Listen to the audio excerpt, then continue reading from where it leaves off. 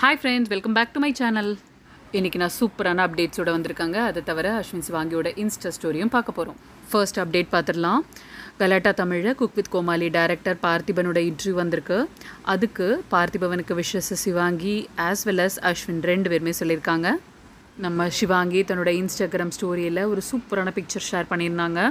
கோமாளி cafe அப்படின்னு போட்டு எல்லா கோமாலிஸோட ஃபோட்டோஸ் செஃப்போட ஃபோட்டோஸ் ப்ரேரிங் டேஸ்டிங் வேறு லெவல் அப்படிங்கிற நோட்டெல்லாம் கூட அதில் இருந்தது. பார்க்கவே ரொம்ப சூப்பராக இருந்ததுங்க. அப்புறம் இந்த பிக்சரை பாருங்கள் எல்லாருமே ஷாக் ஆகிடுவீங்க நம்ம அஸ்வின் அப்புறம் அப்பாங்கூட நம்ம சிவாங்கி இருக்கிற மாதிரி ஃபோட்டோவையும் போஸ்ட் பண்ணியிருக்காங்க. எவ்வளோ நாளாச்சு ரெண்டு பேரையும் ஒன்றா சேர்த்து பார்த்து. அப்படி சிவாங்கி மறந்து போய் இந்த ஃபோட்டோ போட்டுட்டிங்களா? அஸ்வின் ஒரு மியூசிக் ஆல்பம் ஏஎன்எஸ் என்டர்டைன்மெண்ட் அவங்களுக்கு பண்ண போகிறதா சொல்லியிருந்தோம். அவங்க இப்போ ஒரு அப்டேட்டும் கொடுத்துருக்காங்க. ஏற்கனவே நம்ம சேனலில் அஸ்வின் இன்னொரு மியூசிக் ஆல்பத்தில் நடிக்கிறாரு அப்படின்னு சொல்லியிருந்து அப்டேட் கொடுத்துருந்தோம். அதோட டேரக்டர் மியூசிக் டைரக்டர் எல்லாருமே அஸ்வினே நம்மளோட மியூசிக் ஆல்பம் ரெடி அப்படிங்கிற மாதிரி ஒரு அப்டேட் போஸ்ட் பண்ணியிருக்காங்க.